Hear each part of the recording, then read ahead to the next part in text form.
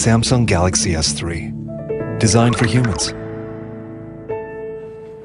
What we'll try to do today is to look at how to select a research topic and then do a preliminary literature review. So we will be kind of working through this particular, part, um, particular process because by the time you finish, you know how to do and carry out research. Are we okay? Any questions from last week? Anybody joining us new? Have you been able to look at the slides of last week? No. You should have talked to your friends. There is a class website that you can actually go there and then get the slides. That's what I was demonstrating earlier. And you are lucky you can also watch the video, so you kind of participate in what we did last week. So let's pick up from there where we left off. Last week we discussed what is research, and then we also discussed um, the research process. And we talked about the fact that the research process is the steps, the steps or activities within the research journey.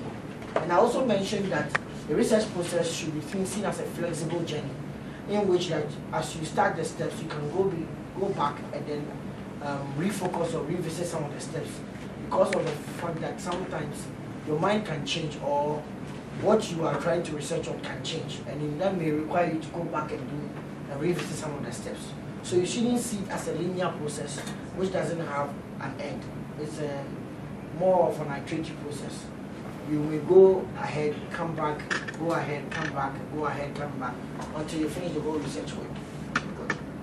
So today we are beginning with selecting a research topic because I know that you have a one-year program which is quite focused and you need to be able to know what you are doing. You can't be um, working around one year, don't know six months, and don't know what you are doing.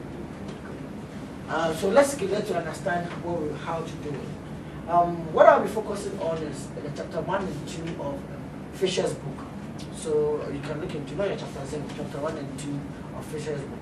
And some of the things I teach are directly from there. Others I try to add more from other books because I remember I told you that not one one book cannot teach you the whole thing about research.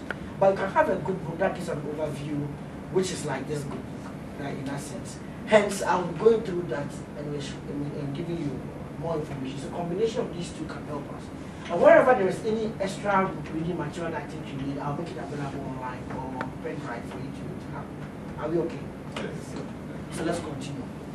Now, so first of all, as what's your first one with impressions of University of Ghana Business? some of you have schooled there before, so you, you can't answer the question. Um, what about the rest? What do you think? Is it where the money? Yeah. Wait and see your record. When you see your first semester, then you can get it. They are scaring you. The other lectures are scaring you. Oh, I said see your first semester results. You have done well. I'm not scaring you. I'm sorry. I'm very safe. You have done very well. Maybe you'll be happy. But someone may think that you didn't do well, may not be. That's what I'm trying to say. For somebody getting a B is not or A plus, A minus, it doesn't think that now. He wants A plus.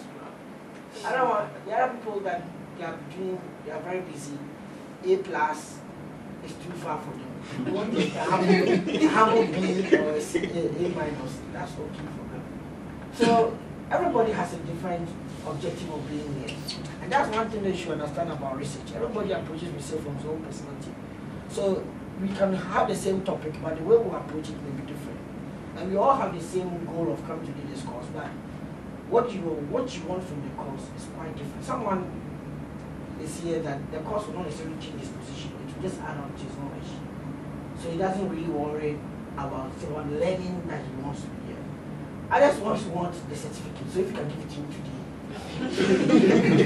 he's had the rest of it. Uh, most of you want the certificate, so just no. Some of you want the knowledge. Otherwise, you have done a lot of things in your workplace already. So this this is not anything that will change that much. Maybe to give you in terms of single spine, but for the rest of what how you do your work, you already know how you do your work.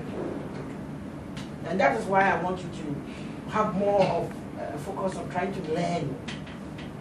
Learn. Otherwise, you finish, you the degree and still you cannot be able to apply it. So trying to learn is more important than just scoring the marks. Okay. But you need to score the marks. So before we start any research, the researcher has to use needs to determine a topic or issue to study. Now, how does you, how does the researcher go about this? What does the researcher have to look out for? So these are some of the things that we're talking about, and what are the key principles that are necessary for selecting a good research topic? What topics should you avoid? What topic should you focus on?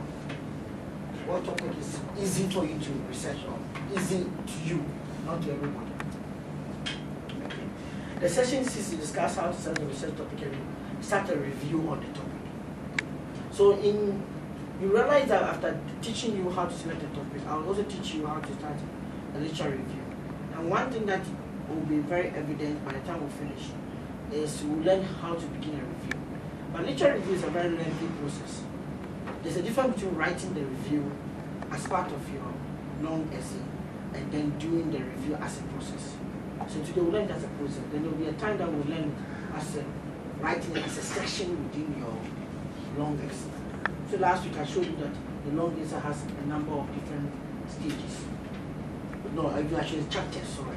So introduction, literature review, context of study, methodology, uh, results and discussion, and conclusion. So there's a section called literature review. That's literature review as a product that somebody will mark for. But then this week today, when I talk about review, I'm talking about as a process, as a verb. Okay. What can be researched? So you just just plunge into it. A right topic, the right topic to research often depends on a number of factors. To begin with, let's look at what we should avoid. What we should avoid. What we should try to avoid. The right topic is very difficult to determine because it depends on the person who is doing the research. Now, what are things that we should avoid? The first thing that we should consider is the common or overused topics. Another point is topics of controversy. Another point is general broad topics.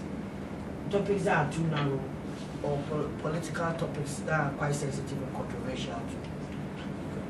Now, sometimes the topic that you may have may be a very common topic over research. When we say something about research, meaning that when you go into research you find so much about it there. For example, if you want to do a research on financing SMEs, there could have been so many research about what are the factors that looks into financing or um, SMEs, financing options for SMEs. There is a lot of topics there out there for it. But something being common does not mean that it cannot be researched. What is important for you is to make that topic common topic original for you. So it could be the fact that financing SMEs have been researched a lot. But maybe financing SMEs in a particular sector seems to be missing. For example, SMEs in the oil industry, if there, if there exists some. You know the oil industry is quite new in Ghana. So financing SMEs in the oil industry could be something that we may want to look into. Or financing um, the relationship between SMEs finance, SME financing and rural banks or what how what is the role of rural banks in SME finance? That could be another dimension that could, that is missing there. So a topic in its broad sense could be over researched, but you can add a little bit of a scope to it, then to make it original for your work. So don't run away from a topic because it is common. Seek to make it original. When we say something is original, meaning that there is a potential contribution to a knowledge or it responds to a gap that has not yet been addressed or something that is missing that has not yet been addressed. For example, if it looks like all those who did the research on financing SMEs found out that SME financing particularly goes to SMEs which are four or five, more a minimum of four years old. Yours could be financing SMEs which are less than five years old or in their nascent stage of development of the firm. That could be something different. I hope you understand what I'm trying to say. So, uh, an over research topic does not mean that it's missing, it, you cannot research on it. What it means is, can you make it original to suit the research that you are trying to do? can you make it original? Can you add a twist to it that will make it look different from what has been existing there already? For those of you who are joining us today, I just want to encourage you that you can always stop me at any time and ask me a question. Don't wait till the end and say the whole show. And we are not showing a movie here.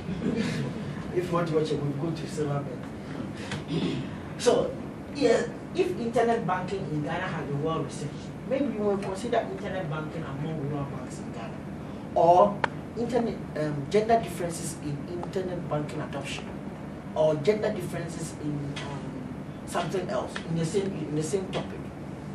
So there there is there are opportunities for you to look at a same top, a topic that is common but from a different theoretical lens or different perspective. Are we okay with that? So if you are thinking about something that you think is already over researched, don't be too scared about it. Ask yourself, what can you do to make it original? Then sometimes something can be over researched, but not in Ghana. Maybe particularly abroad, um, and not much more in Ghana. So, to what extent can you do, um, bring it and contextualize it to make it more relevant to Ghana? That is something that you may want to check. For example, yesterday somebody asked me, uh, asked us about financing space centers in Ghana, and he said it's a specialized area. And he sees Ghana has got some funds to start a space research. So that's why he was talking about that. And he works there. So he wanted to look into that. And I said, it's a very good area, but one question that comes into mind that who can supervise space center the business school? You know, in the business school. I hope you understand what I'm trying to say. So you, you end up having a situation in which maybe no lecturer would like to touch it. Or unless you want to look at it from a very different angle, that a lecturer may think about the fact that you are just looking at the financial part of it. You are not looking into the space issues. I hope you understand what I'm trying to say. But even that, the lecturer has to be comfortable before he picks it up. Now, topics related to religion, politics, and controversy. Now, listen very carefully here, because I had a, a scenario in which a lecturer, a student wanted to tell a lecturer that I said he can't do something on politics. He wanted to public administration. I'm not saying you cannot research on any of these, but what I'm saying that if it's required by your program of study, fair enough. But make sure that you want to make you want to make sure that you can complete the research on time and find relevant and appropriate material. Sometimes when a, a topic is too controversial or a topic is has a lot of different views in the public and the media, about it, when you're even collecting your data, you get confused. And it can become um, very difficult for you to have um, get con- get in control of your work, or it become a little bit emotional. People may end up uh, speaking not speaking well to you, and you may lose confidence even in the work you are doing. Finally, too, they might start a topic that is is politically oriented. What if the elections was over by January, there's a change of government and your topic doesn't look relevant anymore.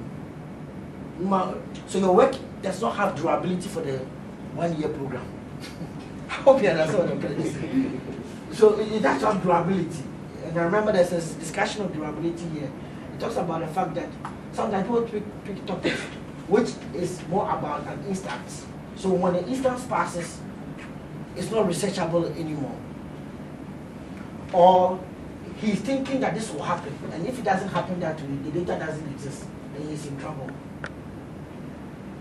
It makes it very difficult. Maybe you are trying to um, look at a topic in which you are targeting a particular MP in your area. What if he loses the election? now, you may have to then take his viewpoint concerning the issue on a different angle. So you may have to revisit your research top, uh, topic and change your questions and change your a.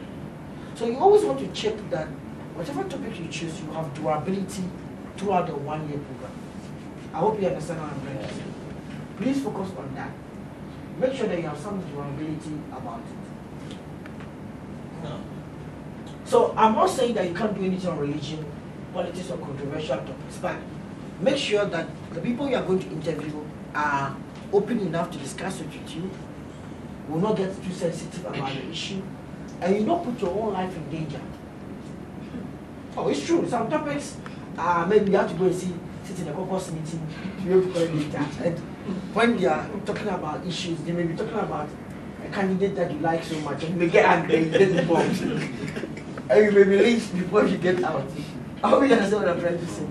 So you don't want to end up listening to certain things that you don't want to listen to. Then, general topics. Sometimes topics can be very broad, quite broad, and it's not easy for a person to research on. Broad in the sense that the topic is just the name. I want to do something on development finance. Well, development finance has a lot of uh, divisions and different perspectives. You want to do something on service market, it's very broad. But maybe if you want to look at it in, the, in, the, in a particular industry, add some scope, it, change, it makes it a little bit more researchable something that can come within your control. So being able to choose a topic is good. But ask yourself, is it too broad? Are there too many issues that can be discussed about the same topic? If you can narrow down to a few topic, a few subtopics, it makes it much more difficult for you to control. If you say development finance what you want to research on, what about development finance? The teaching of development finance? Or how many schools teach development finance in Africa? What do you really want to research on? Or development finance professionals in Ghana? It's too broad as a topic. So you want to narrow down and focus on it, give it a scope. And that makes it easy. Maybe financing development among NGOs in the health center. Or maybe something like that. That makes it easier for you to look into. Okay. Then you can have also narrow topics. Gentleman chooses a topic which is too narrow. It's either too broad or it's too narrow. Being narrow means that you're focusing on a single event. For example, here, uh, the person gets up and says, why, why John broke up with Sarah? and this one makes it presupposes that you want to find Sarah and go and interview Sarah. But you know, some people break up and they leave the country, they go and live abroad. So what will you do? You chase Sarah to um, Venezuela and then ask her why. You send a no. You send a no. Or you, um, you, when, you, you interview John, John will give you a different perspective. You interview Sarah, he give you a different perspective. And what does it tell you? What would you use that research for? If you step a little bit out of the narrow topic or the events and find out that determinants of breakups in relationships are among undergraduates. Is that not better? This one is easier and everybody would like to read it. This one, nobody would like to read it. This one is like a, a, a short story that has been published by Nelson Books. This is more researchable and much based on context. And much more makes it easier for everybody to, work, work with.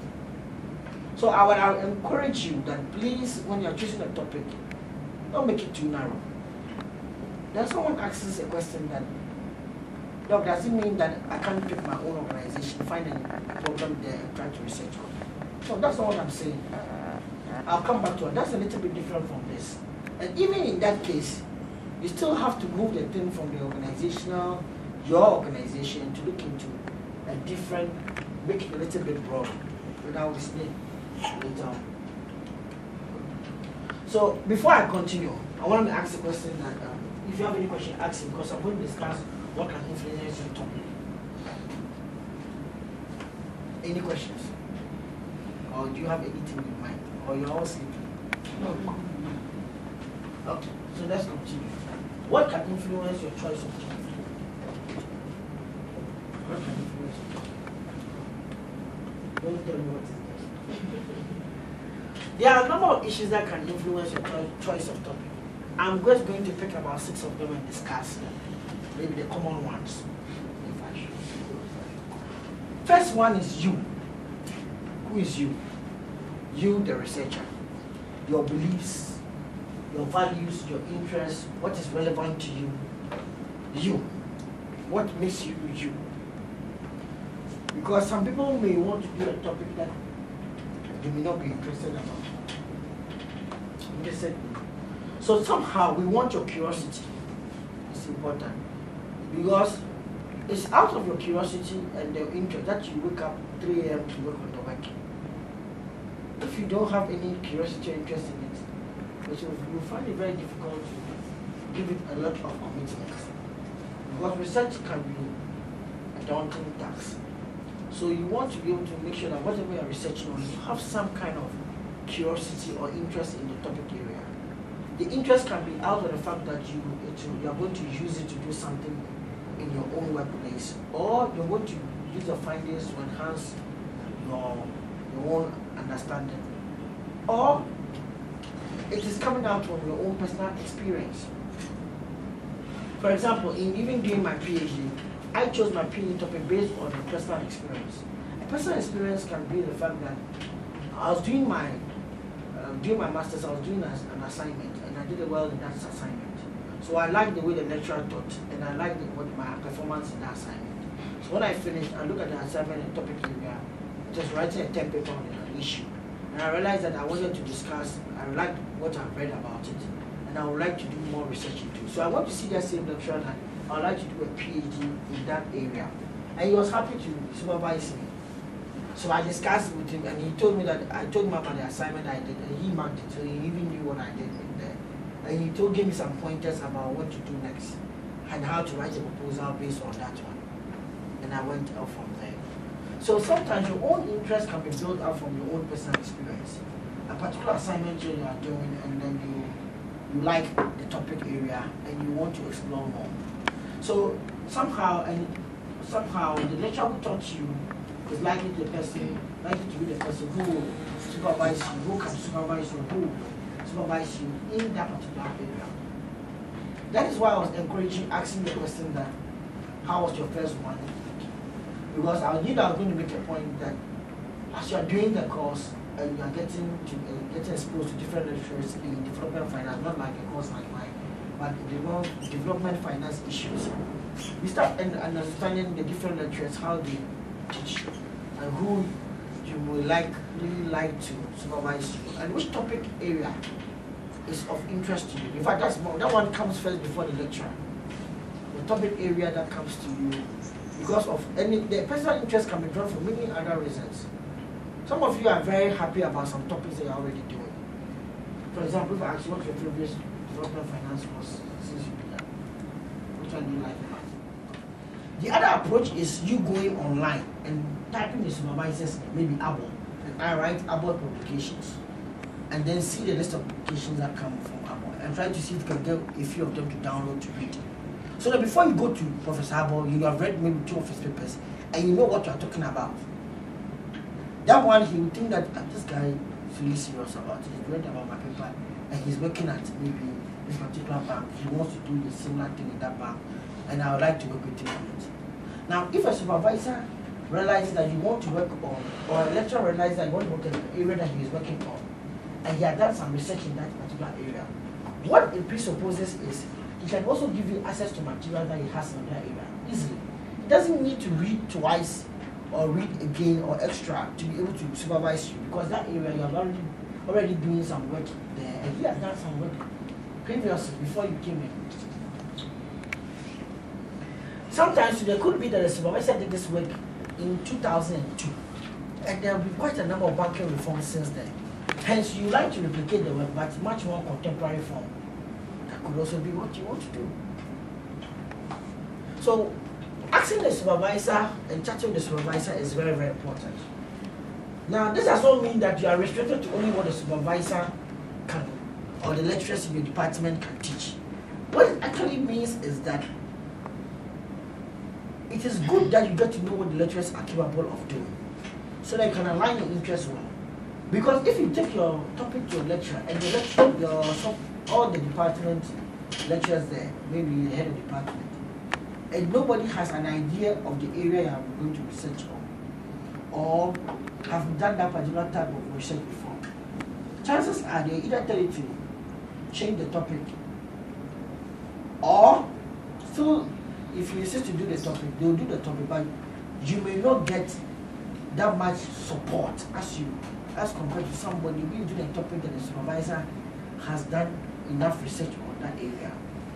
It's very, very simple.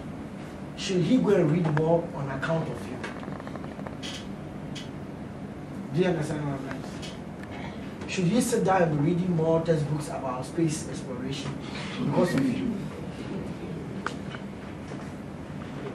So our advice that whatever topic that you choose, please and kindly choose a topic that at the end of the day you can find relevance in the department that you are in. You don't want to choose a topic that you need have you need have, you need to leave the department and go to law school to become a supervisor, which will not happen because uh, your supervisors will be assigned by your HOD or by the lecturers when I'm doing that discussion.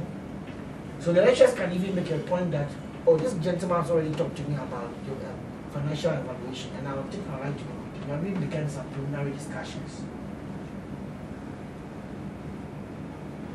Are we okay? Good. So please, your supervisor is the one who also ends up marking the work and passing you. So I'm not saying that without the supervisor's help you will never pass this course. What I'm just trying to say is that remember the course has a defined time period. You cannot be playing amiss. You start doing trial and error. After one semester, ah, I think I'm not interested in financial evaluation anymore. I want something else. I want risk management. Then after two weeks, you come back. Risk management is too difficult. I want risk insurance Make up your mind. Make up your mind and then decide on what you really want to do. Don't be going through a time error. Then supervisor will even get confused and even tell the other lecturer that not serious. In fact,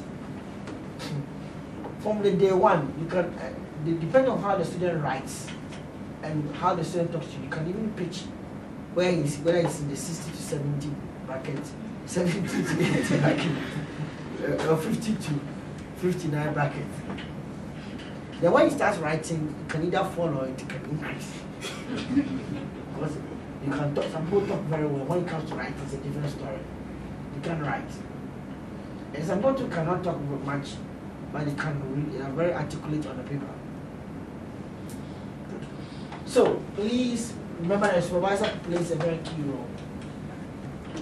Now another point that plays a key role in selecting uh, if can influence your choice of topic is the research gap.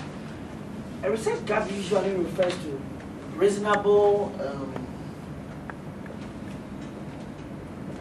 something that has reasonable absence in the literature. That means that it's not being discussed quite much in the literature and you want to research on it. Now research gap can be looked at, can be assessed from different perspectives. It can be either the issue has not been discussed or the issue has not been discussed in a particular context there is a lot of discussion on and maybe financial reporting, but there's not much discussion on internet financial reporting. Or there is a lot of discussion on financial reporting, but the role of the media in financial reporting may have not been discussed. So you want to ask yourself that the topic may be broad, but which area could make it much more relevant for your point out the research gap? And a research gap is what enables you to declare or point out a potential contribution. Remember when we began the first time, I said there's something like, what does research feed into? Research feeds into three things. Research, policy, and then practice. Good. When I discussed that, I was trying to emphasize how research becomes relevant to people who and what they're going to use it for. So, in a similar way, a research gap tells us what your research is responding to. Now, it could also could be that the research gap lies in the issue. The issue has not well been discussed, or it has not been discussed in one context, maybe a developing developed country, but in developing countries we don't discuss it enough. So you want to explore whether it's even possible or prosperous on that topic in here.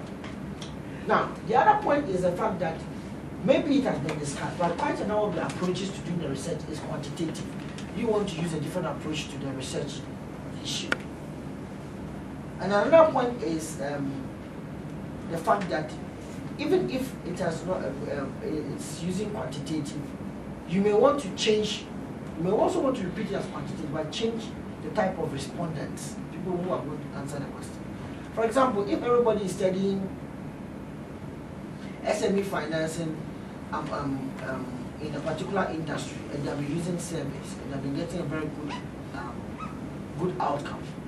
You can tell us that you don't want to look at SME financing from there, but you want to look at perceptions of bankers towards SME financing. So you are discussing the same thing. You are going to survey too, but you are surveying, you are surveying bankers on their views concerning SME finance or relationship bankers, relationship bankers or SME bankers on it. No, I'm not saying when I say bank, I'm not talking about um, the bank itself. I'm talking about the officers in the banks who actually work with SMEs.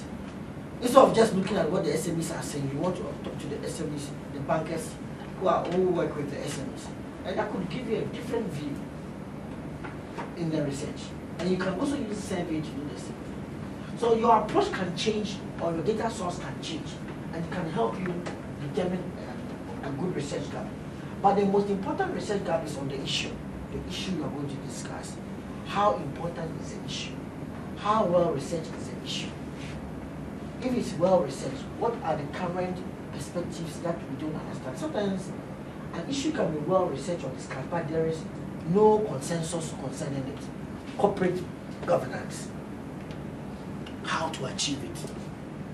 Maybe there are quite a number of views on corporate governance in the banking sector. So you want to do the research and try to explore the prospects of two views of this corporate governance in the banking sector in Ghana. So it gives you a different view from the other person who was doing just corporate governance, corporate governance. Now, one other point that I wanted to emphasize, which also can happen with um, research gap, is the fact that you can also look at research gaps from comparing, changing, comparing um, certain demographic characteristics of the data source. Everybody is doing research on students, how um, factors that influence students' choice of banking services. Very good topic. Or financial services. Very good topic. But you can then do a research on general gender differences in the selection of financial services, comparing male and female. So I'm using demographic points to be able to differentiate the type of research I'm. Because you may realize that some products are being adopted more by females than males. So what is it? Why is that happening?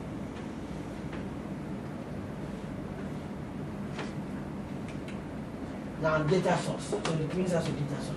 Researchers are sometimes restricted to topics because of the data source they are researching.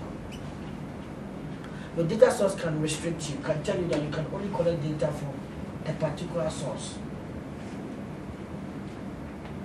So that makes it very difficult. Or sometimes access to the source can differentiate the type of data you can collect.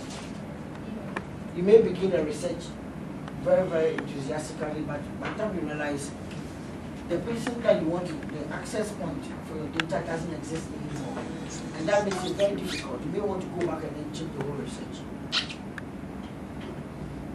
Or, for example, if you are trying to look at inflation in Ghana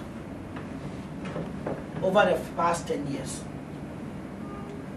you may need some data from Bank of Ghana.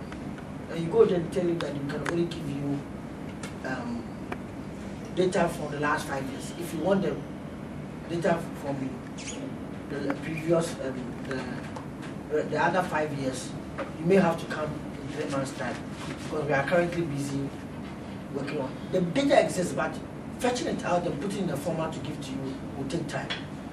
What will you do? Go on the World Bank website and Look at what the World Bank has reported. yes. And that makes it gives you a very good point. But the other point that you have to address is you then drop the first five years that you got from um, Bank of Ghana and just focus because you cannot use two different data sources for financial modeling in that case. The thing Because, because let me just make a point because sometimes the what is reported by Bank of Ghana is different from what they report to the international agencies, and that happens in many, even in the IT world and in the financial world. so maybe that should be a research topic. Why is it different? Yes, that is a very good topic. But who will you get to interview World Bank? if you have access, I don't have a problem, but if you have access, means that you have to find out who manages World Bank statistics. Okay. You, you not, not necessarily have to interview somebody, you just have to find out what factors do they use in de- determining the inflation and all these factors. That could be also one thing. You see, one thing I like about what you have said is you design the research and the factors that you are going to use, and the type of research you are going to use. Now, what is challenging is whether that will satisfy the research record that your supervisor will be expecting of you. Good. You may think that okay, you want to look into the, the factors that determine it may be good. And if the, your, your, your supervisor is comfortable with that research approach, I don't think I have any problem with it. But if it's not comfortable and thinks you should do more, that is where the problem comes. For example, sometimes some people will be doing research and some supervisors insist that they want you to actually engage in data collection instead of using secondary data statistics and then um, um, uh, reports that are exist and published already. They really want you to go out there and do some collection of data because part, that is part of the exercise and the learning process. So if you choose a topic that the data exists already and you can just do some financial modeling or run some statistical equations and they'll be okay for you. He may not be very happy about that. He may want you to still go out. Another supervisor will welcome that. So it makes it very difficult for you to tell whether everything will work out or not work out. Some different some supervisors have strengths. Some of them strength have a strength in the area that or type of modeling you want to use. Another supervisor will also have strength. That's why I always say that look at who is teaching you what. I hope you understand what I'm trying to say. So if somebody is teaching you something on um, a topic related to what you are trying to research on, it's easy for you to approach that supervisor and know and start even talking to the supervisor whether it is possible to do a research in this way. Quite a number of people like to do research that you sit down, they won't go anywhere. It's the easiest research that everybody would like to do. I hope you understand what I'm trying to say. But the challenge here is you and your supervisor have to agree whether this is very convenient for that particular. And sometimes if there is a possibility of accessing or getting in contact with previous um, graduates of this program, it's very good. Especially those who are supervised by supervisor, you can have a look at their work and see, and it makes you get an idea of what to expect through the process. And if you go to the department, most of the old long are there. So if you ask that um, you want to find some of the, have a look at one of the old long essays and just learn from, maybe supervised by Professor Apple. If you go to the office, they should be able to, the HOD's office, the head of the department office, they should be able to give you one, two, two, and then you return it back. I, I, ho- I hope you are trying, you are trying to understand what I'm, putting across. So I'll, I'll welcome any approach that you want to use. I don't think that there's, there's one approach to research. But what I just want to try to point out is that make sure that whatever approach that you want you can defend it and you understand it. Secondly, you get the buy-in of your supervisor. Some supervisors don't like quantitative work. Others like quantitative work. purely. Others don't want to see anything but qualitative work. So sometimes position your topic can even influence who you are assigned to in terms of who research, who would supervise you, sorry.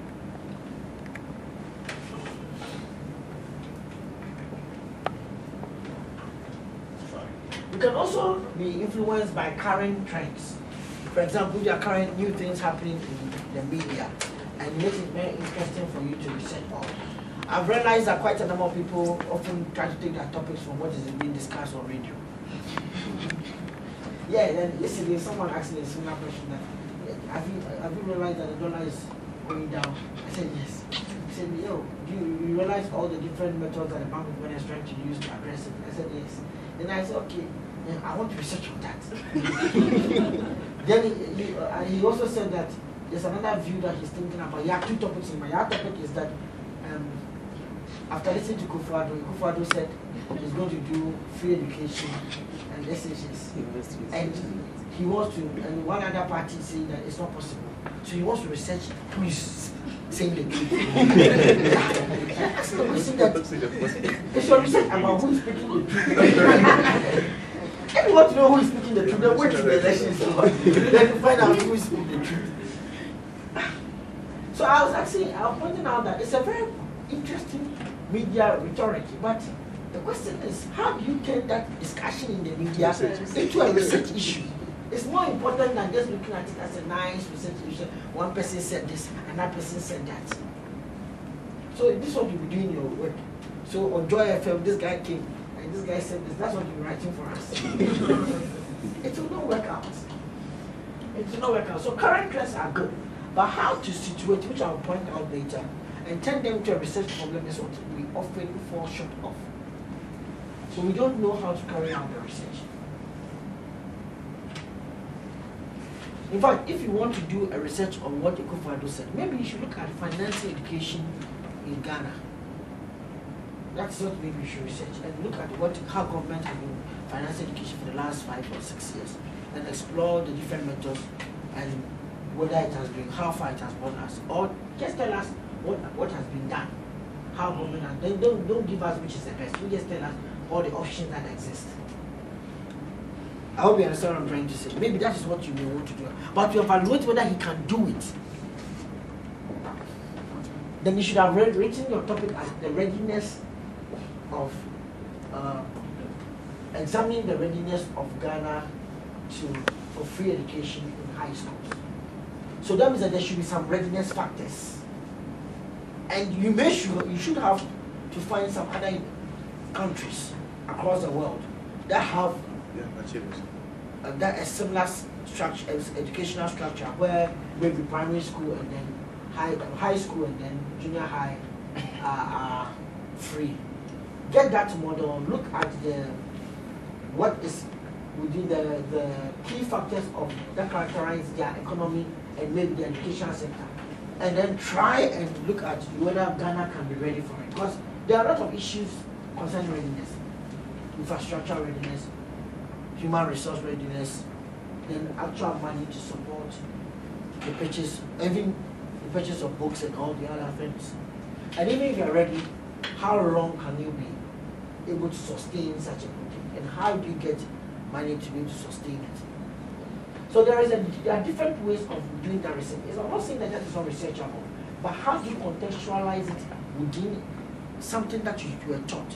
I always ask students that if you want to do a research, in the business school, ask yourself all the courses you're taught, what does a research topic fall Maybe they're any one or two of the topics. If you don't find anything here that was taught, go back again and re-ask ask yourself that. So all the things that you taught, there was no issue that came up that made, was of interest to you that you want to research more. Now you want to go and pick something in this and research on that. then maybe you should tell how nurses manage their finances. Maybe that's where we should. Or factors that influence financing clinics, which may be something you want to at. Anyway, the other point that could actually influence your research, yes. Um, can you say any topic is researchable in the School of Administration? Because the core issue is finance. So whatever subject you choose, definitely there will be a financing part. So once you have finance to be the core of, of that topic, you can any topic is researchable. Yes and no. What is the meaning of researchable? If not, you should ask yourself. When you say something is researchable, that means that it can be researched, but by who? You or her? Basically, who supervises it? You can do something on financing, all right, but maybe financing space exploration, nobody in your department will be confident enough to research on that. But if you have chosen financing healthcare, the supervisor would have been, a prime supervisor would be given to you from your department, and maybe your supervisor will tell you that go to health management service or public administration and talk to one of the lecturers to get an idea of the health sector so that you can be able to link it up with what you are doing. It's not wrong. For, for example, some of you are maybe coming from a financial institution, a financial department in a hospital. So it does it mean that you cannot do work on finance? You can do something on financing or auditing. I hope you understand what I'm trying to say. So, so far as it's a business function, it's applicable in a lot of business entities. The most important thing is that can the supervisor help you do the research in that area? If he thinks he can do that, it's good. And it also depends on what you are researching on, how you want to look at the literature. If you just want to read only medical literature for financing hospitals, then you are going to be in trouble. But if you want to at financial management in hospitals, maybe you may get quite a good literature on that. And even if you go to hospital literature, you may find out that there may be literature on financing hospitals, just within journals on hospital or clinical journals or medical journals. So it's well, you are welcome. But the, the degree of flexibility is what I'm trying to point out to you. That somebody, a supervisor may readily, a supervisor who has done something in the health sector, who has done something in the insurance sector, who has done something in the manufacturing sector, but has not done something in the telecom sector. If you give him work in the telecom sector, he may find it as challenging and may be ready to do it with you because it's something new for him. He may also think that he, he doesn't have time to do much more with reading. So please, can you choose any of the sectors that are more, because maybe he has friends in those sectors, he knows who and who works at which bank, and can even give you the leads to those places. That why I mentioned the supervisor first, that please visit, find out, or Google their names to find out what some of the work they have done. So that when you're approaching them, you know. For example, if somebody has done, done something on debt financing or judgment debt payments, it's very easy for you to also take your small percentage judgment debt to him. I hope you understand what I'm trying to point out. So please, I'm not saying that you cannot research on any topic that is not mentioned by me, but I'm trying to point out that there are different steps of getting to arrive at a topic. That is what I'm exploring with you. Even if you want to do something political, you are welcome to do it. But ask yourself that do you have the durability of the work? And secondly, will you have time to do to commit to uh, spending time with politicians? Give me a question. By the time you come out of the country. For example, if your work is on the Ministry of Education and you have made it in such a way that you still, whatever happens, you have to interview the minister. Meanwhile, the chief director is available to you, the deputy director is available to you. There's a research officer in almost each of the ministries who are available to you, but still you want the minister because you want to see the minister committed himself and say something. And you don't get the minister throughout your work, what will you do? You write him an email, you won't respond. Maybe you find somebody who knows the minister to go and say something, visit him at home to say something on behalf. But what I'm just trying to point out is that don't put yourself in a tight corner. You have just one year. I hope you understand what I'm trying to say. Find out some of the works that you've done in your in your department. Think about some of the gaps and how you can extend your work. For example, if you go and you find out that somebody did a research on um, um, savings practices of micro entrepreneurs, the case of market women market traders in Ghana. Ah, What prevents you from going to do something similar by looking at taxi drivers?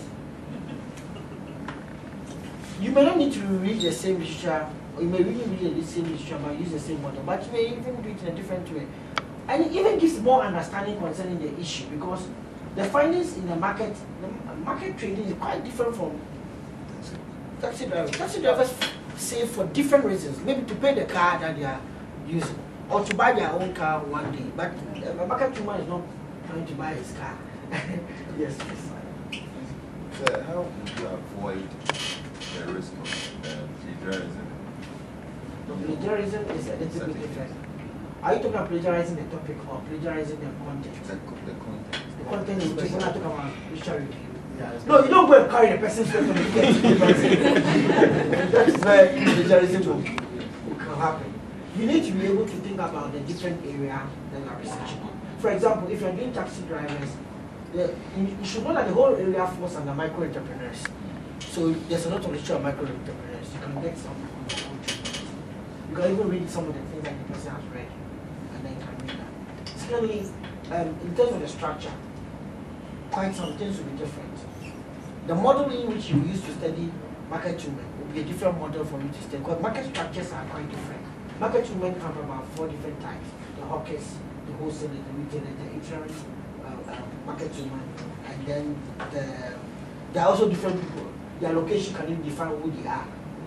Taxi drivers are also different. Night workers, day workers, all of them are quite different. Then the station, the also are station masters. So there's quite some differences in the business that you are trying to research on. So please, you know that you, apart from the general literature on micro entrepreneurship, then factors that you are looking out for in terms of saving practices, it may be the same factors, but you may get different views. For example, if you are all studying why why people adopt mobile phones, it is one thing, mobile phone. The factors will be the same, but if you want to study the factors you can study the same factors, you can study the same factors. But he, she can do gender differences in those factors, and I may not do gender differences in those factors. She may select, there are seven factors, she may select three, justify why she wants to into three. For example, if you read the person who did the one of market tuning and found out that uh, the saving practices of market tuning, the key things that Yeah, influence, yeah. sorry. Yeah. The key things that influence the market tuning to save is uh, proximity of the bank.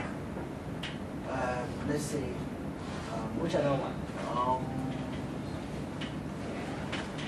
um, access to loans, and then what do they access to um, banking services in their language of choice. Mhm.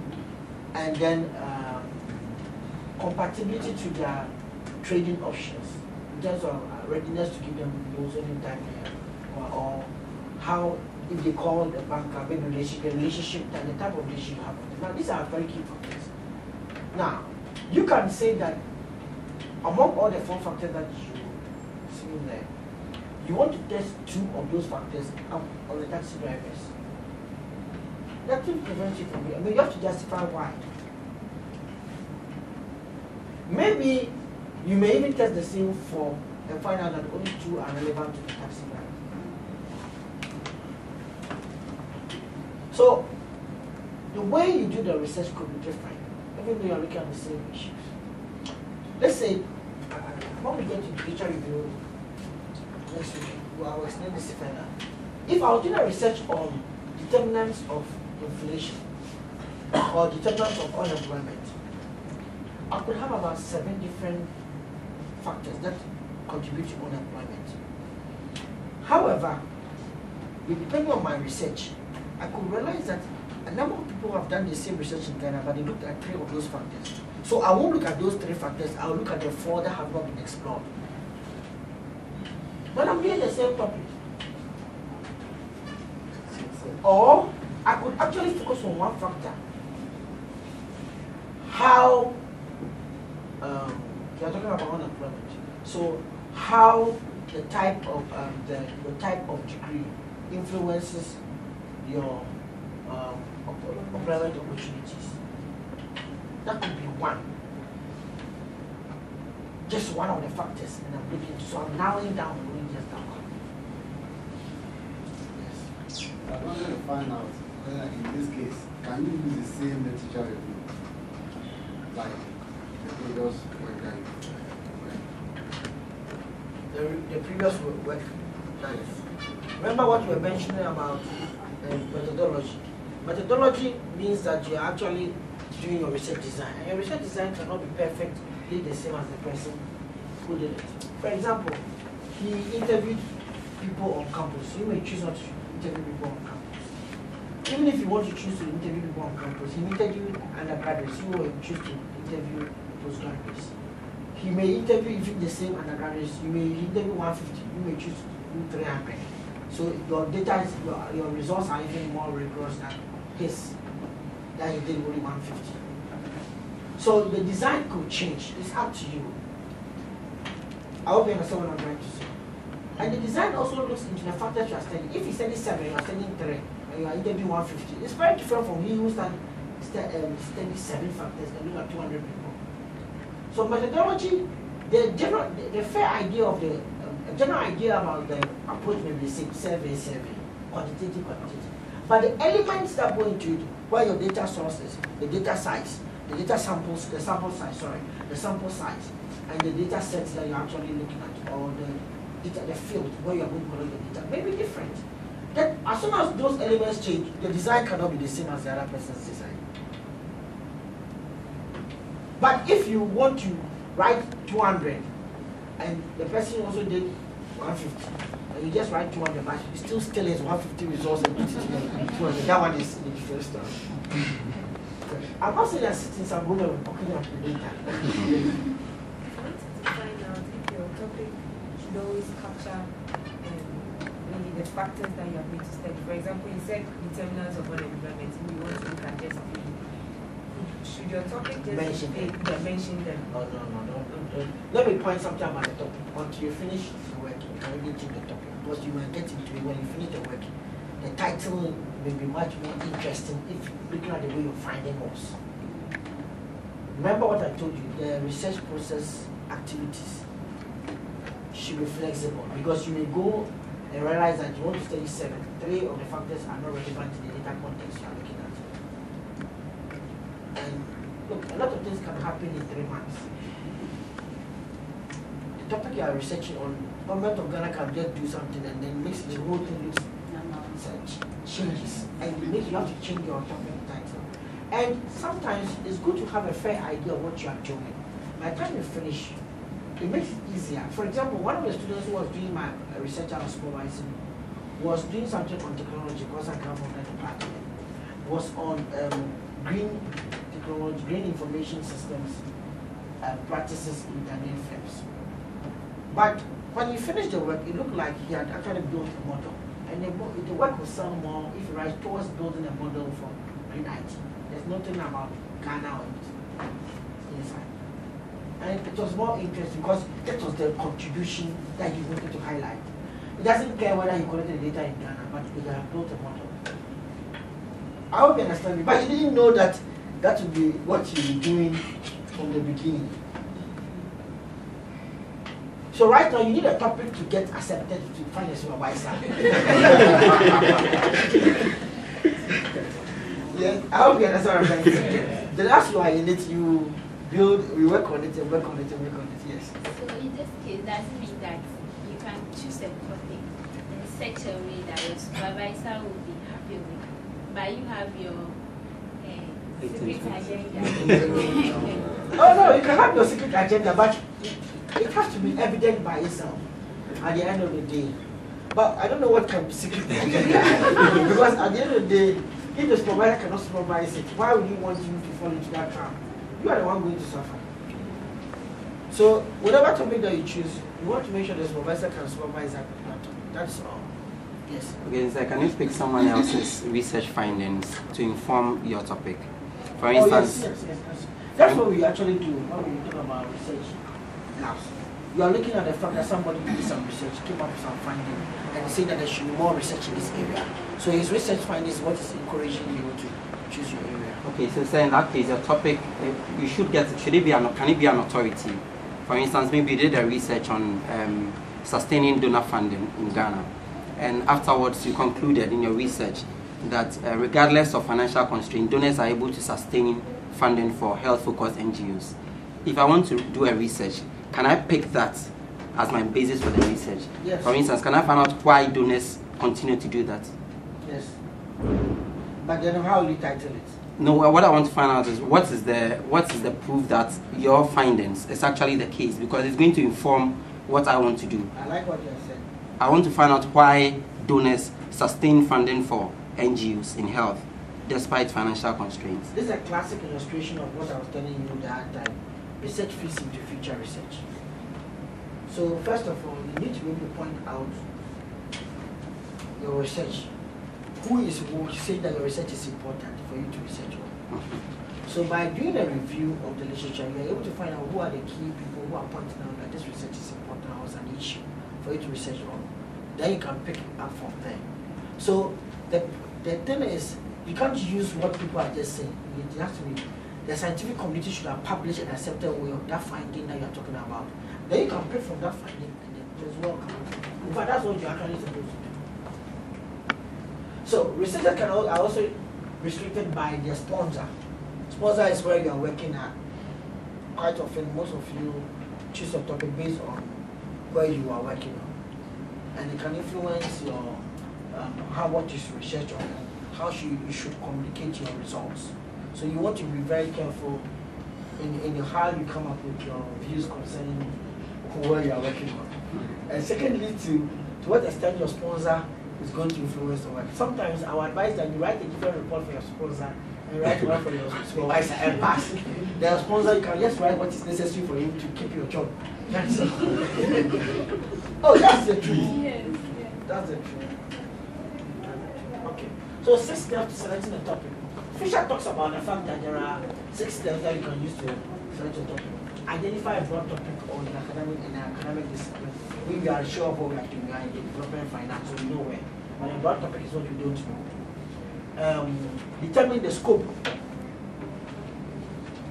Brainstorm issues, puzzles, and questions. Map and structure the issues. Conduct a reconnaissance. Frame your research issues. I hope you understand. So let's make it one by one.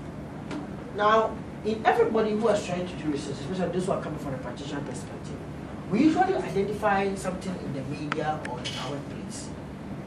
Usually we call that one the business problem. I'm using the business problem because we are in the business school. If we're in a different place, I can say the social problem.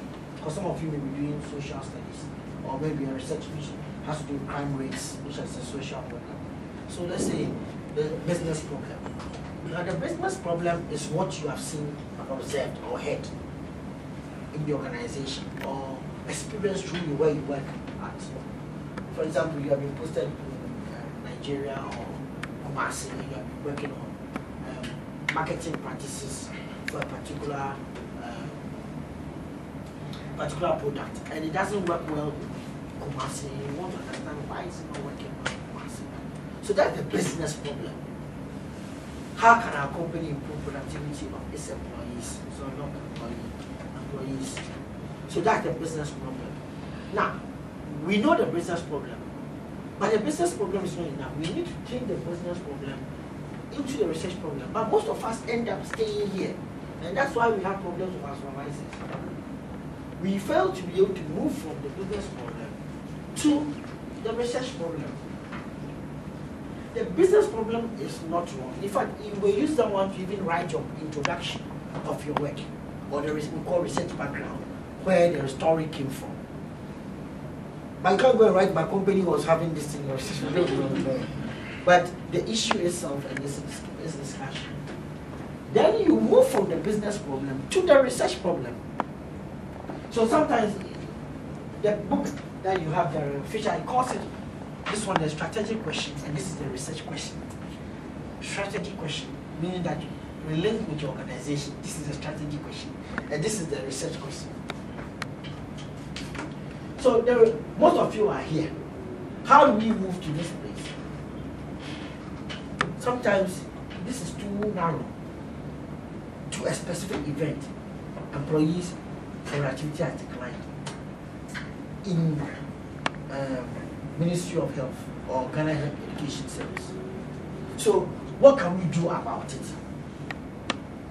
The broad topic is employee productivity in organizations. For the teachers, the broad topic is motivating teachers in the motivate teacher motivating teachers in education. Um, or motivating teachers. That would be important. Uh, how do we narrow it down? Factors influence what factors influence employee productivity could be the research question.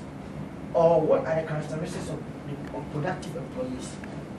I know these two are different. The research approach for this one and that one is different.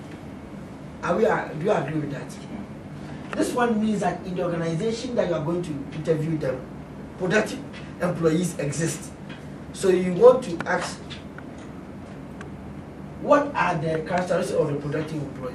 If a company has labeled that this is the productive employee in our company, what is the characteristics? What are the characteristics that led to that selection?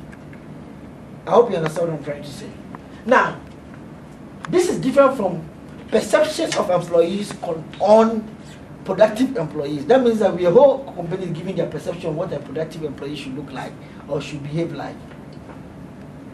And that one is also different from the factors that influence employee productivity. That one is also a broad question. I can come to you. What factors influence your productivity? This one means that there is a label called productive employees that somebody is wearing. And so you want to know why he deserves that label.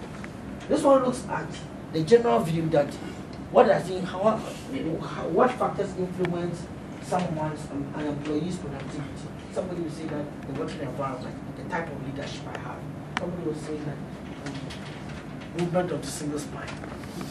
Another person to say something related to uh, car loan, the lack of a car loan. All these things you may point out quite a number of issues. So this is quite different. But all of them, to some extent, give us some of the answers. I'm not saying all of the answers, some of the answers to this question.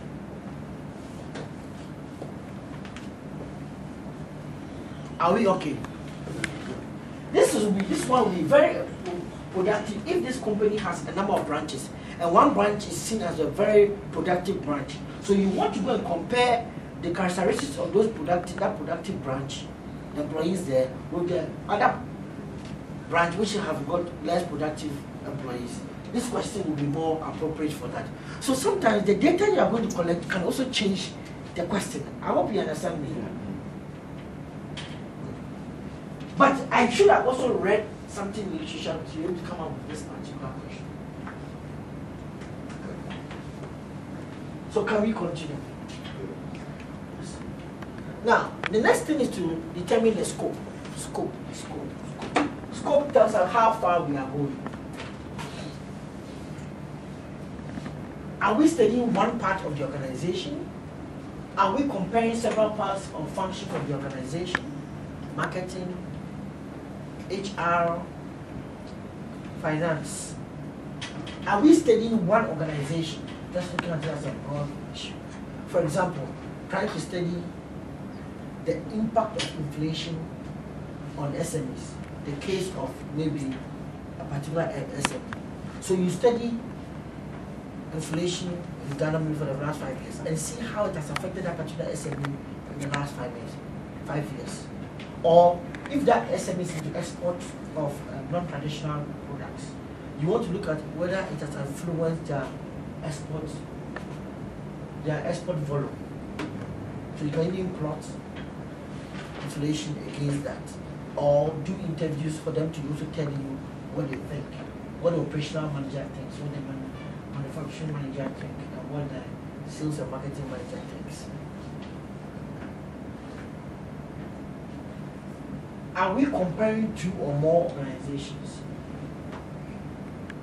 Motivating employees in the public sector, the case of Ghana. We need two public sector institutions to be able to call it the public sector. At least you can't do only one organization be calling it as a general. Unless that organization, that public sector is the large, is a very large public sector unit. Maybe you looking at the whole GES as a whole unit. That could be one. Or um, IRS, which is also very, very big one, Internal Revenue Service. Or, the, or is it Revenue Authority? Which one? Ghana Revenue Authority. Ghana Revenue Authority. You want to look at them as a large. Or the police, which is very, very important because you may have to go interview the, the current president too, because there's a commissioner of the police. Then studying the a, a particular sector or industry. Now, when you say you are studying sector and industry, you always need to know have to make sure that you choose a good representative sample from the particular sector. You can't just be talking to only one company in the sector and say you, know about the sector. I hope you understand what I'm trying to say.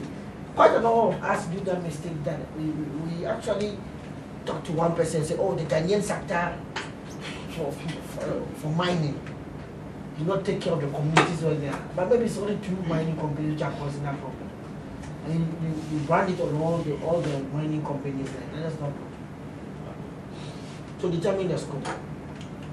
Now after you have determined the scope, what time is our class ending? Eleven thirty. After you have determined the scope, you need to brainstorm on the issues and questions. And this is where literature review comes in. This is where literature review comes in. You need to review the literature to be able to do that. So I'm going to discuss literature review. Now, if you're able to find out the issues, the methods, and identify the regions and then the countries, you can also identify the gaps and map out and structure the issues. Meaning that you can be able to link which issue is relevant for you to be able to work. So let's see how it's going to be done. When you have been able to come up with a good review, you can also write a research program. Now, we cannot do the writing today. Writing will be done much more next week. But today, what we want to try and just click through is the literature review. How to identify and locate journals so that during the one week break, during the one week like, away from me, I would say break, so that you don't, don't come for tomorrow, you come and see the boy, the, lecturer said there's a break. you can identify and locate literature. A literature review is usually um, a synthesis of available resources materials with a strong relation to your topic. So your topic should be chosen. At least even if it's broad, it has to be chosen. In question, accompanied by the description and a comparative analysis. It is focused on a particular question or area of research. We do literature review for a number of reasons. One of which is to be able to establish the theoretical base for your work. Why is your work necessary? Somebody says you can get onto the meat of your project. The where the work is actually started. It forms the very basis of argument. It gives you the someone will point out the necessary argument that you can be able to communicate. It enables you to justify your research, to prove that there are gaps of knowledge in the field, to demonstrate how your work will improve the field. To point out that your work has, hasn't been previously contributed and is original. You cannot know what is what what is until you do the review. So when you do the review, it tells you what is and what is not. So if you are doing finance, uh, financial evaluation in uh, SMEs. Maybe the first thing you have to do is financial evaluation in SMEs. What we know and what we don't know. Trying to pitch what has been done and what is yet to be done. So that you choose your work from what is yet to be done. What we know and what we don't know.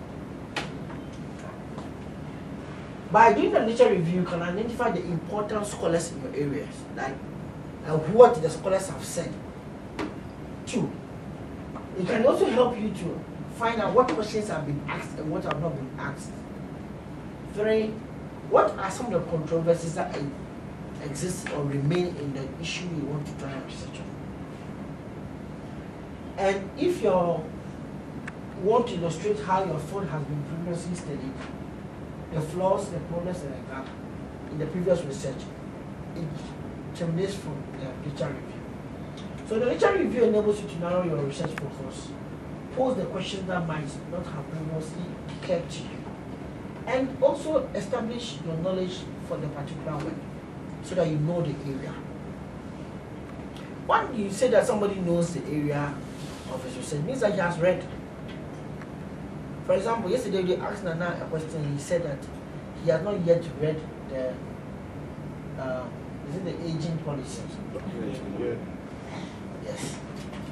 And he, he will read it later and then come back to answer the question. so, whether that will ever happen, I don't know. But sometimes you read, you don't know because you're not ready. that is the truth. And as, as a smart academic, he pointed out that he doesn't know. Okay. So, what is the literature review process? Select and refine the topic, which I think for now, almost all of us know a fair idea of where we want to be. If you don't know where you want to be, you can look in the skies. then, and to tell you where you are. Identify and locate the literature, ensure relevance, record and retrieve, review and summarize and write. We can't learn all of them, but at least I want you to understand how to identify and locate where do you find literature? Scho- scholarly journals, books, dissertations, government documents, policy reports, existing statistics, World Bank. Okay. Now, what our advice is that for your work and trying to situate your literature review, you may want to start from here. Trying to understand the business problem and the issues that are there, you can look at these two. But trying to make sure that your work has relevance to research, you want to look into this one. Trying to get statistics that gives you context. This one is there, this one is there, this one is there, that one is there. Trying to find out what has been researched on in your department, some of the sample work. Trying to understand concepts without critique. Trying to understand concepts with critique. All of them have got different views. Now, you can write this label down. Or you want to go to the University of Ghana Business School website, electronic resources, or even go to the site that I gave to you. You can also get to this. Now, quite the University of Ghana has access to or subscribes to a number of databases. Now, a database usually has a collection of journals, so it's like an online library. But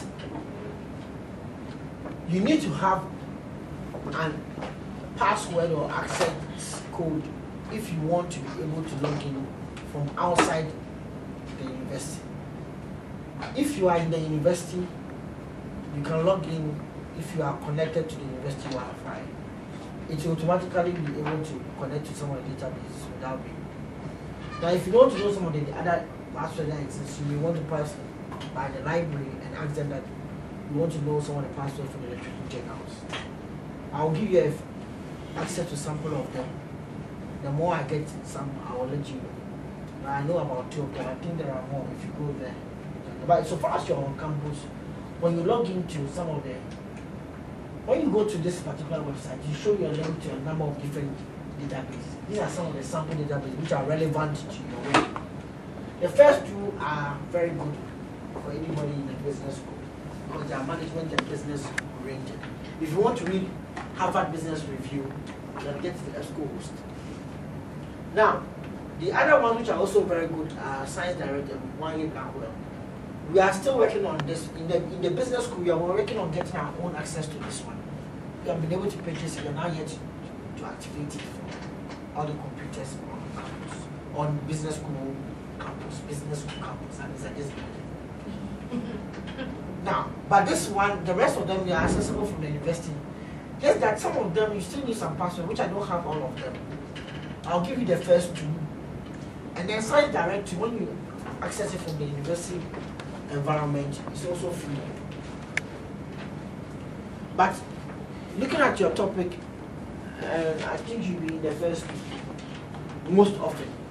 Sometimes too, I will encourage you to ask your supervisor that what are some of the good databases and journals for your area of research.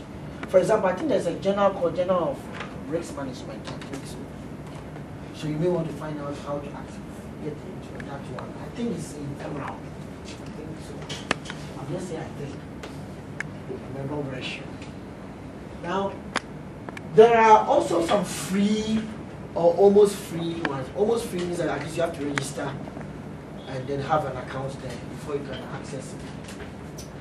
These ones are there. They are also on the university website. If you go to this particular, you can click on the links to those ones. Are we okay? So this is the one how to go to Emerald, and this is how to go to EBSCO. Now this other one is not from University of Ghana. It's from another university that I, I taught at and they gave me the password. So if you don't see University of Ghana, just know that you are still in Ghana, but it's not. but I think University of Ghana has one. I'm going to. Yeah, there are no slides. You.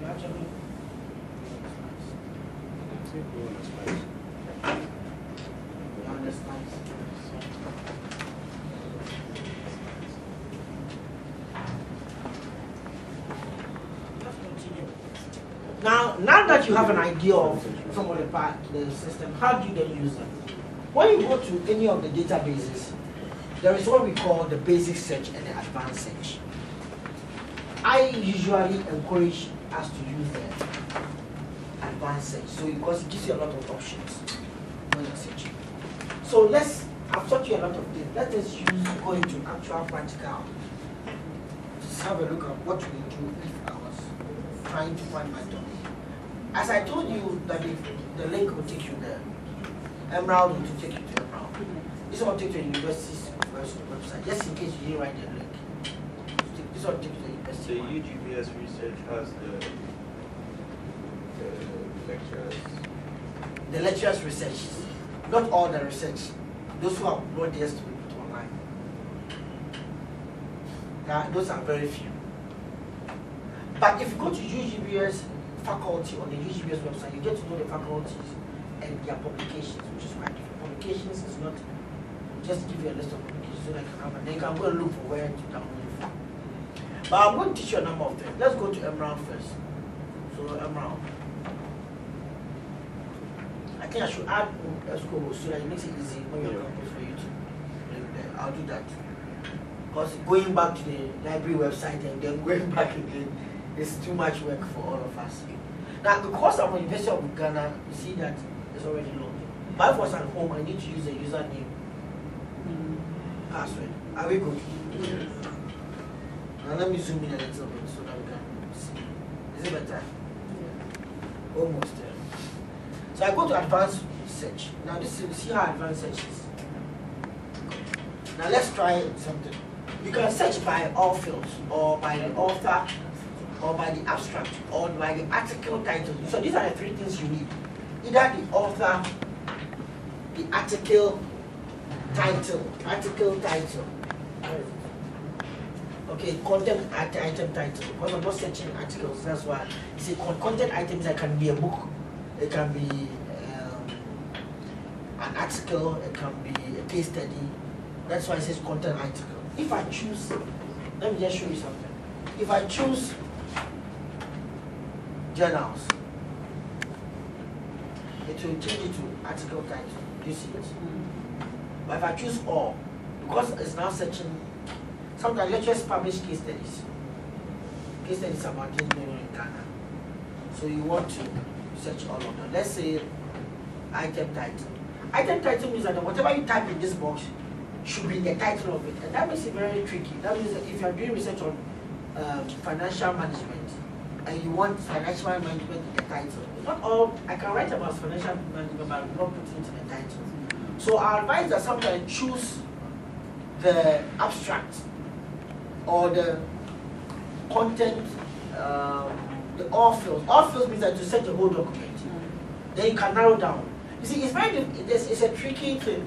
You can either go narrow and then come out, step out and go broad, or go broad and narrow down. One good thing about um, Emerald is that it can let you set within your results. So when you get a set of 200 results, you can set within that 200 so that you can narrow it down. So let's see. I want to do something on um, research. And I want, I'm now trying to choose an idea. So I want to know more about some of my researchers, my, my lecturers. So I go to article author and I put their surname like Abor, who is my head of department. I'm using you. So that I can give an idea of what Abor has published in Emerald journals. Not, it maybe have been published in many other places like Wiley. All the databases have their own journals that they stock. Some of them even stock other people's journals. So this is what I can find concerning Abor's pa- published papers in Emerald. That's not that means that Abor has published only 20. He has more than 30. So don't be worried. Now it tells me, let me zoom in again because people cannot see from behind. Now look at the first one. There are two things that I want you to learn from here. First of all, I'm getting to know what Abor has researched on. Agency theoretic determinants of debit levels. It tells me an idea of what Abor likes to research on. Or look at the year, 2008, so quite recent. If it's 2002, 2001, maybe it's not doing res- that research area. Two, it tells me that account, there's a journal called Review of Accounting and Finance. That means that it's likely that the review of financing and accounting and finalize publishing things on debt level. So in future, if I want more on debt level, I can even search it only within. I can open click on this one and go into that journal and look at all the issues so that I'll find something which is relevant to my topic. So I hope you have learned these two mm. strategies. Thirdly, I can open the abstract and then look at it or download the PDF. Not everything is PDF available because business school can buy, the investment guy can buy only some of the journals. Even though you are in the database, it depends on how much you are paying. I hope you understand what I'm trying to say. But I think the fairly there's almost everything that is there for you. If you cannot find it and it's an a lecturer's work, the easiest thing to do, email the lecturer. The lecturer will give it to you. Lecturers are very happy for people to quote their work because it shows that their work is relevant. So even if it's a foreign one and you can find their email address, or you find the name, you can Google the name, you might find the department it belongs to, maybe in America, write to the person directly that, oh, I'm a researcher here, I'm doing that, and I'm doing financial management. If there's any, I saw your paper on this, can you share your paper with me? If there's any other paper that you think you have that will be relevant you, please kindly add it to it. Don't add it, somebody may even give you a whole folder. I'm just telling you how to be able to get some of your work done. So let's see what happens here. I click on abstract. It tells me the paper. Now I can understand. Now look at the keywords. Ghana, owner managers, small to medium enterprises, capital structure. Another thing I'm learning here is that the guy has life publishing on capital structure. And when I click on capital structure, to bring me other papers on capital structure. Now this is the paper. So from the paper, I can know what he has done, and then be able to understand it, what I, how I can apply to my research. This is just the abstract now. Now, uh, let's see something again here. I can go down. He also publishes on corporate finance, corporate governance, capital structure. Thank you. I didn't even know about that. In, in investment options, opportunities. You see, sometimes you can even use a title, uh, a question for your title. How do we explain capital structure of SMEs in Sub-Saharan Africa? How do we explain financial valuation for SMEs in Sub-Saharan Africa? That's it. Evidence from Ghana. That's all. So, use the word like evidence from. That means that the case of You can say the case all. of. Evidence from is not that, that way, that's where the evidence is from. In fact, find the number of quantitative le- um, researchers like using the word evidence from because of the fact that when you say case, people think it's a case study. I hope you understand what I'm trying. Evidence from because it's much more of a survey. Evidence from Ghana. And the survey just gives you results, evidence. Case study builds the story. So they don't want to confuse you to let you think that you've done a case study. So they like using evidence from. Please, you can see there's a lot that has done. Dividend, dividend payout ratios, 2006. See, this is a case study. Now look at the Journal of Risk Finance. I said risk, risk management, Journal of Risk Finance. So now we know what we can do. That is one good thing about searching. Not all your lectures or departments have got a lot of publications. So don't go and if you see only one, tell the lecturer I publish. I beg you. Then let's see this one too. I can then choose based on my topic. So we have been talking about financial evaluation. And in this scenario, I can also choose all fields, or choose article title, or choose abstract. So I want to use abstract. And I scroll down.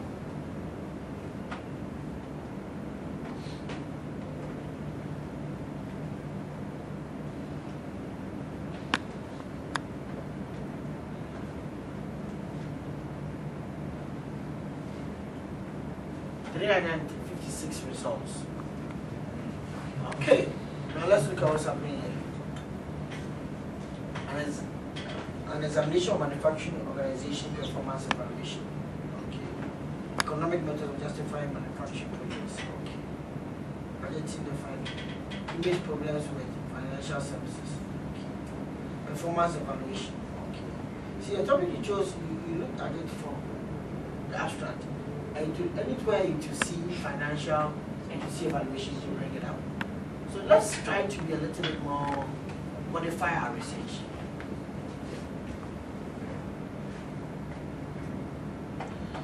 Change this one and make it. Don't choose general title because you may not get a paper, a general called Journal of Financial Administration, Financial Evaluation. No matter you choose article title, that means the person paper had financial evaluation. Now, if you have 40, you get 60 or nothing. Evaluation of new financial services. You see where evaluation is here, and look at where financial is. Now, this is a little bit closer to what you want. Is that not true? You are the one who wants that topic. the independence of financial analysis, analysis evaluation of alternative proposal. So that's it. Consumer evaluation competitive advantage into financial services. Evaluation of the user. So at least the one thing I just wanted to show that it depends on what you put. You can either go narrow or broad. The other thing I'm trying to put it out is um, let's look at this.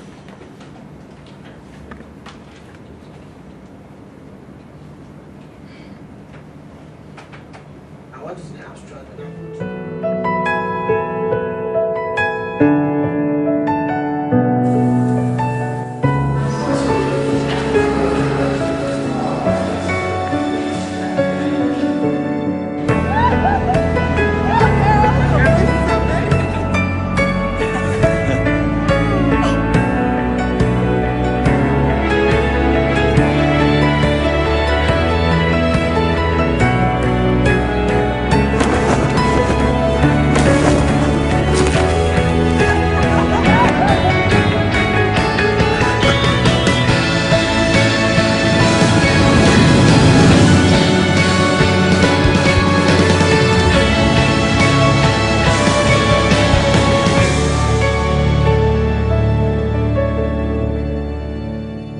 Samsung Galaxy S3. Designed for humans.